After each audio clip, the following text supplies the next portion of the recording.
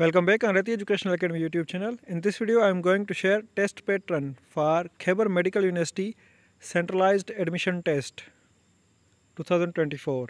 There shall be question papers of different codes in which the sequence of questions and the responses shall be different from one another. The duration of the test shall be 90 minutes, one and half hour, and the total marks shall be 100. There shall be no negative marking. KMU CAT, KMU CAT shall be valid for one year only.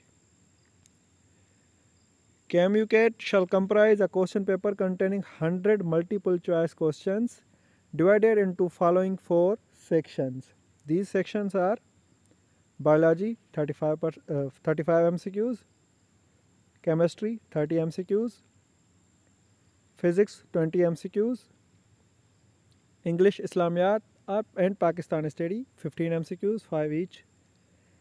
For past papers visit Rati Educational Academy YouTube channel and follow us on Facebook, TikTok and WhatsApp. Thank you. Stay connected.